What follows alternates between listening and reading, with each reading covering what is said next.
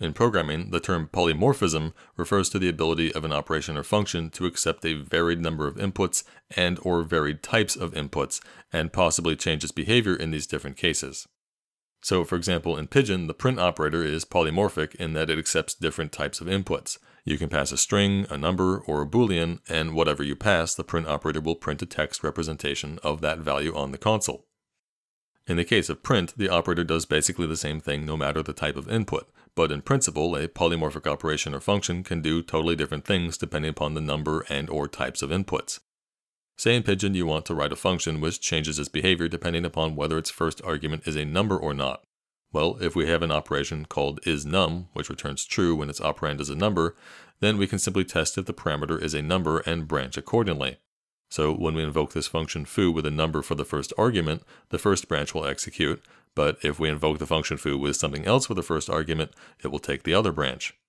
In these two branches, we of course can do entirely different things if we like. In fact, we could have one branch return one type of value and the other branch return a different type of value. So a polymorphic function or operation might change what type of value it returns depending upon the type or number of the inputs. The obstacle to polymorphism in static languages, of course, is that each function parameter must have a single declared type. To allow for polymorphism, then, a static language must allow us to create multiple versions of the same function. For example, to make a function foo that accepts either one number argument or one string argument, we actually create two separate versions of foo, one with a single number parameter and one with a single string parameter. In truth, it's probably best to think of the two versions of the function as really just separate functions that happen to share the same name. Despite sharing the same name, the compiler can distinguish between calls to one or the other by the argument types. A call with a number argument is of course meant to invoke the version of foo with a number parameter, and a call with a string argument is of course meant to invoke the version of foo with a string parameter. As for creating a function which takes a varied number of arguments, in JavaScript we can pass a function as few arguments as we like, and in the function, any parameters that get no argument have the value undefined, and the length of the arguments array tells us how many arguments actually got passed in. So we can branch in the function based on the number of arguments passed.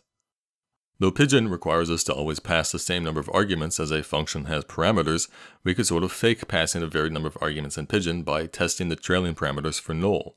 Here, for example, when we invoke the function with null as the second argument, the second argument is tested, and if it's null, the function runs one branch but otherwise runs the other.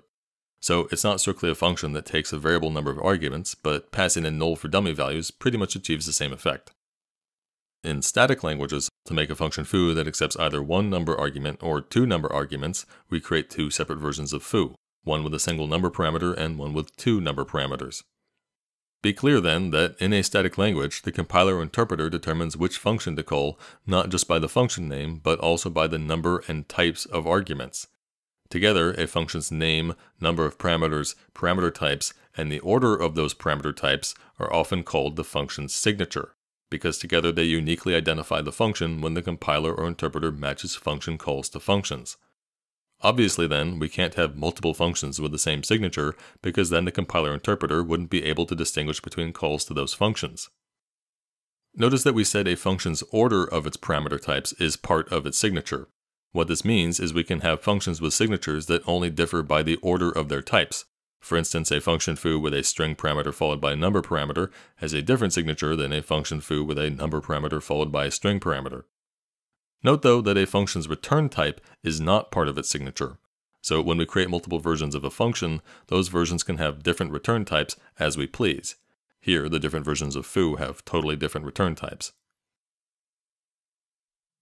In addition to classifying languages by whether their typing systems are dynamic or static, we also classify languages by whether their type systems are weak or strong.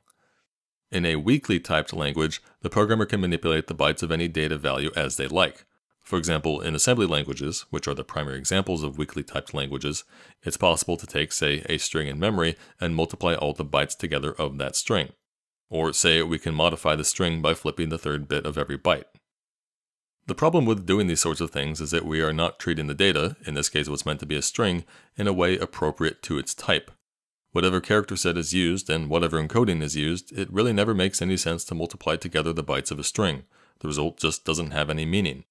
Similarly, if you flip every third bit in each byte, the end result is generally garbage. There's really no scenario in which doing this would be useful.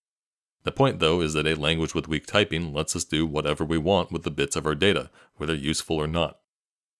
The key idea in strong typing is that data types are defined not just by how they represent their information as bits, but also by the operations meant to be performed upon values of that type. The thinking behind strong typing is that because arbitrary manipulation of data may lead to errors, a language should preclude such errors by allowing the programmer to do nothing with a data value except perform those operations defined for its type. So, for example, the built in types of JavaScript are strongly typed such that we can't do anything with, say, arrays except perform the operations defined to work on arrays. We can't just manipulate the bits of a JavaScript array as we please. In weakly typed languages, the trade off is made that, well, yes, programmers might make mistakes, but sometimes programmers want the flexibility of complete control. These two distinctions between weak typing and strong typing, and static typing and dynamic typing, are often confused, so be clear, the difference is this. Static typing makes it possible to detect type errors before running the code, while dynamic typing does not. In contrast, weak typing allows the arbitrary manipulation of the bits of any piece of data, while strong typing does not. In principle, a language can have any combination of the two. Python, for example, combines strong typing and dynamic typing, while Java combines strong typing and static typing, and C combines weak typing and static typing. However, there's no language I know of which combines weak typing and dynamic typing.